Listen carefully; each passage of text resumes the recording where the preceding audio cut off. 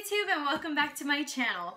For those of you guys that are new to this channel, my name is Brenda Marquez and I'm currently on my fitness journey, which is why I created this YouTube channel to help provide information for you guys regarding health and fitness to help you guys out for those of you guys that are also on your fitness journey. So, as you guys can tell by the title of this video, it is muscle versus fat. For those of you guys that don't know, I am a personal trainer. I have been a personal trainer for almost a year.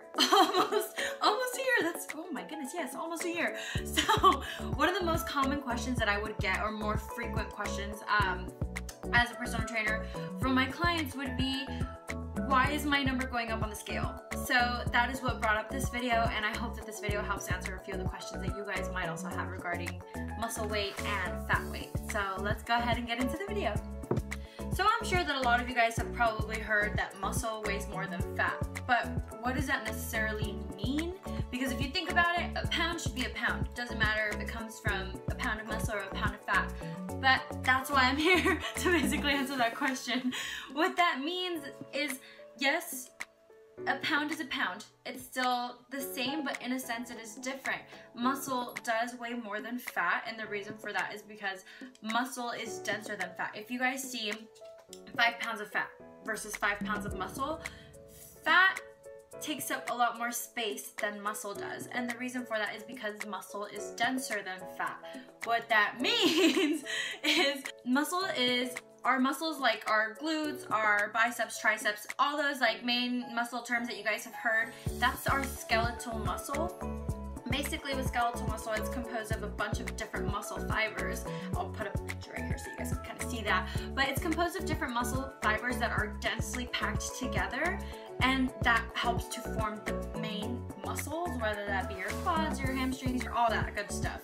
And it tends to take up a lot less space, whereas fat, it's like fat droplets that kind of come like combine together to make this all over your body and fill up those areas. Now fat is necessary though, so don't forget that if you guys are trying to lose certain amount of weights that way, that's why there are certain guidelines like that kind of help give you a bit of a um, guidance for what percentage of body fat you guys should be shooting for depending on your age range.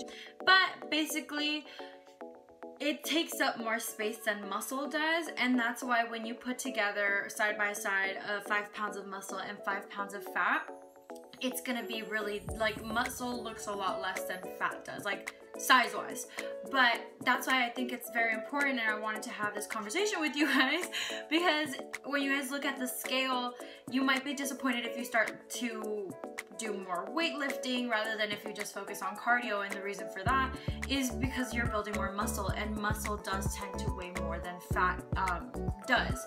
So that's why when you guys are working out, try not to get discouraged if you guys are getting onto the scale and seeing like, oh shoot, like I just gained I don't know, five pounds of, of, weight because that might be five pounds of muscle and as your body, your metabolism starts to speed up from the weightlifting and all that and your nutrition is on point, then at that point it might be that you are gaining muscle. So seeing a gain in weight overall might not necessarily be from the fat and in time your fat will start to like kind of disappear and then you'll see your body looking much better and that's why you should be basing your weight loss off of how are you looking, how are you fitting into your clothes, because losing weight doesn't necessarily mean that you're losing fat.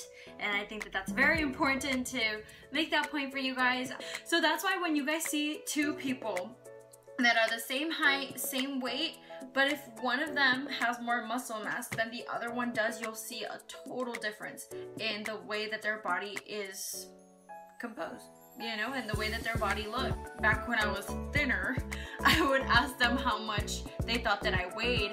At the time, I weighed, I think 150, but I had a lot more muscle than I do right now. And a lot of people would tell me that they thought that I weighed anywhere between 120 to 125. That's a pretty big gap, you guys. That's, that's pretty big. So just keep that in mind. You know, that's why it's really important to not stress out about the number on the scale.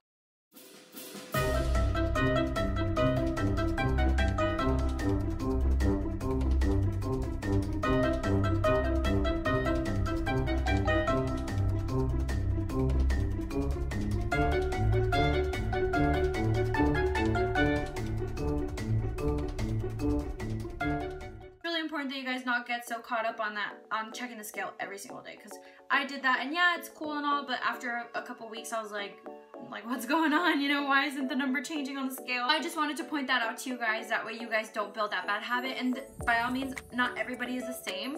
Some people can look at the scale every single day and they feel great. It helps motivate them. I can be like that sometimes too. I kind of just go in phases honestly. Sometimes I can do it sometimes I can't do it.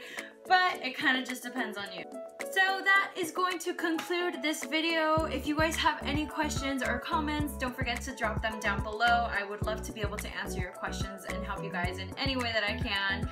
And yeah, don't forget to like and subscribe, and I will see you guys on my next video. Have a great weekend, guys.